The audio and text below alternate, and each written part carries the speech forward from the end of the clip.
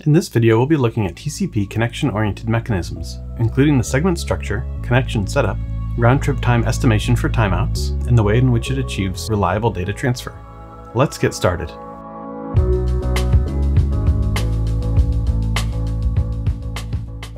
Now let's start looking at TCP.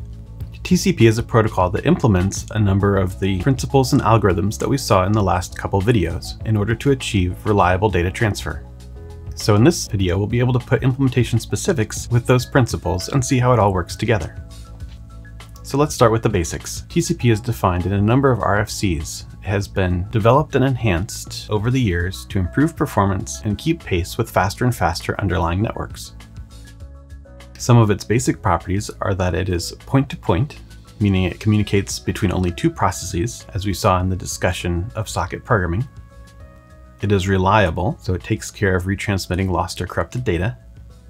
It delivers application data as a byte stream, so it does not impose any message boundaries and application messages may span multiple segments. Unlike the examples we've been looking at so far, TCP is also bidirectional, meaning not only do the control messages flow in both directions, but the data can as well. The processes at both ends of the connection may each send and receive data. One term that we will use quite a bit is the MSS, or maximum segment size. From the last video, you'll remember the idea of cumulative ACKs and pipelining, and TCP implements both of these. TCP is also connection oriented, so it has a connection establishment phase, as we've mentioned before, and it's flow controlled, which is an idea that we haven't talked about so far, but it means that the sender will not be able to overwhelm the receiver's buffer. Here's the structure of a TCP segment, including its header fields. If you think back to the UDP segment, you'll notice that this is significantly more complex. One thing it has in common with UDP, though, is the source port and destination port, both of which are 16-bit fields. The TCP segment uses a 32-bit sequence number, but one important thing to note is that this number counts the bytes in the byte stream, not the number of segments, so it works a little bit differently than the examples that we saw of selective repeat and go back N. TCP also has a number of individual flags, one of which is the ACK bit, which designates if this segment is acknowledging data. Of course, the payload for the TCP segment is the application data. Another thing that it has in common with UDP is an internet checksum. Again, 16 bits long and computed in the same way as we saw for UDP. TCP also supports a number of optional features. There are many of these defined in different RFCs, and we'll describe some of them later on. Because the options can be of varying lengths, this means the overall TCP header length may vary, and so the header length is specified in a field. To support the connection management, we have the reset, fin, and syn flags. And to handle flow control, we have another window called the receive window. This is not to be confused with the congestion window that we talked about in selective repeat and go back N. In a little bit, we'll discuss more about how the receive window works. We also have a couple flags specific to congestion notification, and the last couple bits for urgent and push, which are not used in practice. Let's talk about how a byte stream sequence number works. Our window size is now in terms of bytes, not segments. So the byte stream number is a byte counter identifying the first byte in a segment. So the segment, of course, will hold multiple bytes, but the number in the sequence number field will refer to the first byte in the segment. The acknowledgement number is a sequence number referring to the byte being acknowledged. In TCP, it specifies the sequence number of the next byte expected, so one more than the last byte received. This is a cumulative acknowledgement number as we saw with go back N. When we talked about go back N, we said that the receiver may buffer out of order segments or it may discard them, and TCP doesn't specify one option or the other. It's up to the operating system implementers to decide how to handle out of order segments. Here's an example to demonstrate counting with byte stream sequence numbers. Host A and host B have established a telnet session, which means they're going to be sending one character at a time and echoing that character back host A sends the letter C, which is one byte of data. Host B both acknowledges it and sends the letter back, because this is how the Telnet protocol works. So the original packet had sequence number 42, and it's one byte of data, and so that means the next sequence number expected is 43, and we see that 43 is in the ACK for the letter C.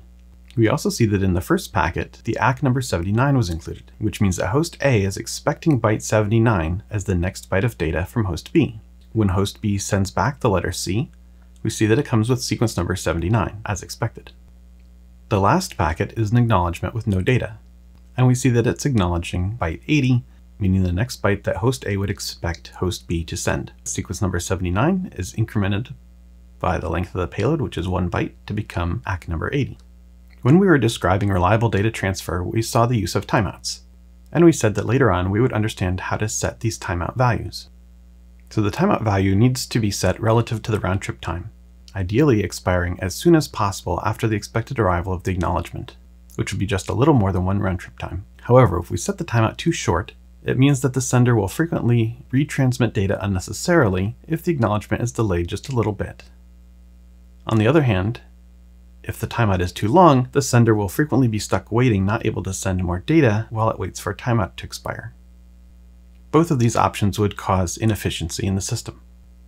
So TCP has a particular algorithm for estimating the round trip time and setting the timeout accordingly. It starts off by sampling the round trip time, meaning measuring the time between sending a packet and receiving the acknowledgement for that packet. TCP then uses the samples of round trip time and averages them together to create an estimated round trip time. To do this, it uses an exponentially weighted moving average, so that some weight is placed on the existing estimate while being updated by new samples. Here's a plot looking at the individual samples and estimated round trip time together. We can see that while the estimate responds to individual samples, overall it forms a much smoother plot than the raw sample data. But we're not quite done yet. If we just set the timeout to our estimated round trip time, that means half the time the timeout would expire prematurely, which would create far too many unnecessary retransmissions. So we want to take our estimate and add a safety margin to it. For TCP, we take our estimate and add four times the RTT deviation, where the dev RTT is the exponential weighted moving average of the sample deviation from the estimate. Here's the calculation for that. Alpha in the previous equation and beta in this equation weight the responsiveness of these values to new samples. So now we have all the pieces and can put them together into understanding the entire TCP protocol. It starts with data being received from the application to send, then creates a segment using the next sequence number in the byte stream, starts the timer if it's not running already. Remember, this is fundamentally go back n and keeps the timer for the oldest unacked segment. And it sets the timeout interval based on the calculation that we just saw. If a timeout does occur, the segment that caused the timeout is retransmitted and the timer is reset. When ACKs arrive, the sender window is updated and the timer is restarted if there are still segments outstanding. On the receiver side, we have a few different events. One is the arrival of an in-order segment with the expected sequence number. The TCP receiver needs to acknowledge this, but it implements something called a delayed ACK. So it waits a little bit to see if another segment arrives before sending a cumulative ACK for both segments. If no additional segment arrives within this time, it acks the individual segment. If the second segment arrives, it doesn't keep waiting, but it immediately acks the two received segments with a single cumulative ACK. If a segment arrives out of order, the receiver sends duplicate ACKs for the previously received segments. If a packet arrives that is filling a gap between in-order and out-of-order packets, it will be immediately ACKed by the receiver. It will not use the delayed ACK method in this case. Now for some time sequence diagrams. First we'll look at the lost ACK scenario, and then see what happens with a premature timeout. So we have host A sending 8 bytes of data with sequence number 92. This means host B will be expecting byte 100 in the next packet by taking the sequence number 92 and adding 8 bytes to it. And so that's the acknowledgement sent back. However, this acknowledgement is lost. Host A waits for its timeout value and then resends the packet. Note that it is identical to the first time with the same sequence number and same data. Host B already had this packet, so it discards the duplicate, but resends the acknowledgement. This time the acknowledgement arrives at host A, which is able to cancel its timer. In the case of a premature timeout, we have host A sending two packets, the first with 8 bytes and the second with 20 bytes. However, the timeout expires before the ACKs arrive back and it resends the first packet. Note that the receiver always sends the highest cumulative ACK value that applies. So even though it just got a packet with bytes 92 through 99, it sends 120 because that is the highest number of in-order bytes that it's received at that point. This cumulative ACK catches up the sender, and so it won't need to resend any other duplicate packets. Here's another variant of that scenario, where the sender sends two packets in order and the first ACK is lost, but the second ACK arrives shortly thereafter, and because ACKs are cumulative, it doesn't matter that the first ACK was lost. The sender knows that both packets arrived at the receiver, and it can continue on sending new data. Now we'll look at a TCP mechanism known as fast retransmit. As the sender is sending segments, the second one is lost, but subsequent packets arrive successfully at the receiver. Now because the receiver only acknowledges bytes that are received in order, it will keep sending the acknowledgement saying that it's expecting byte 100. Because of the margin added on top of the round trip time, the timeout's going to continue to run for some period of time longer, and the receiver would be stuck waiting if it had to wait for that timeout. However, as an optimization, the sender can use the fact that it just received three duplicate ACKs to indicate that a packet was lost and go ahead and retransmit even though the timeout hasn't expired yet. This is the optimization called fast retransmit. The sender goes ahead and resends the missing packet after what are commonly referred to as triple duplicate ACKs. At that point, the receiver is then able to ACK all of the data that it had previously received out of order. That covered how TCP implements reliable data transfer, but we still have some components of TCP left to look at. In the next video, we'll see how TCP handles flow control and connection management, followed up with principles of congestion control and TCP congestion control, which is a large topic in itself. See you in the next video.